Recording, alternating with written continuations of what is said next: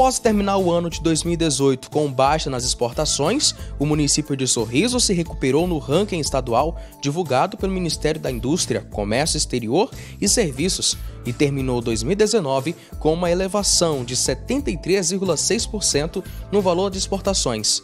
Em todo o ano de 2018, as exportações foram de aproximadamente 1 bilhão, ao passo de que o ano passado o valor foi superior a 1,8 bilhão. Sorriso, um dos maiores polos industriais do estado de Mato Grosso, no ano de 2019 também chegou a um patamar glorioso na questão da plantação, na soja principalmente.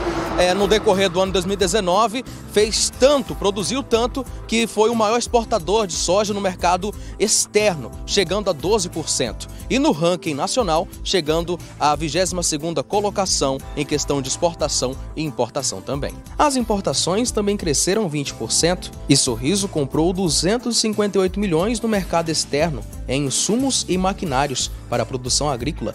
Os negócios foram fechados, na maioria, com o Canadá, Estados Unidos e Rússia. Os números favoráveis deixam um superávit de 1,6 bilhão na balança comercial do município. A venda de soja bruta cresceu 87% e rendeu 948 milhões aos cofres dos produtores rurais de Sorriso respondendo por 50% de tudo que foi vendido.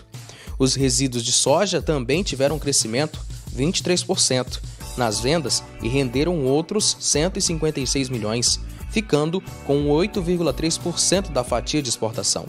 O milho foi outro produto que teve crescimento de 73% nas vendas e rendeu 756 milhões para o município, mesmo que 40% da comercialização o aumento nas exportações pode ser justificado pela presença chinesa em Sorriso, que aumentou 80% em relação a 2018 e em 2019 comprou 37% da produção municipal.